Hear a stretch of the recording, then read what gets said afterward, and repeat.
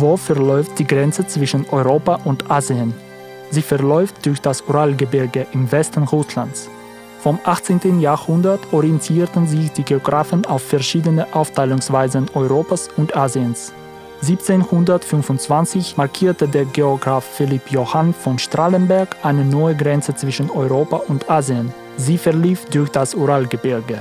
Momentan gibt es Erinnerungszeichen entlang dieser Grenzlinie. Im Ural befinden sich mehr als 10% aller russischer Städte, darunter vier Millionenstädte. Ein großer Teil dieser Städte wurde um Fabriken herum gebaut. Die Tatsache ist, dass der Ural die größte Mineralienquelle Russlands ist.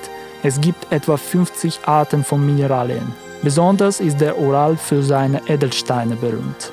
Und es gibt viele Märchen und Legenden darüber, wie sie so zahlreich im Ural aufgetaucht sind.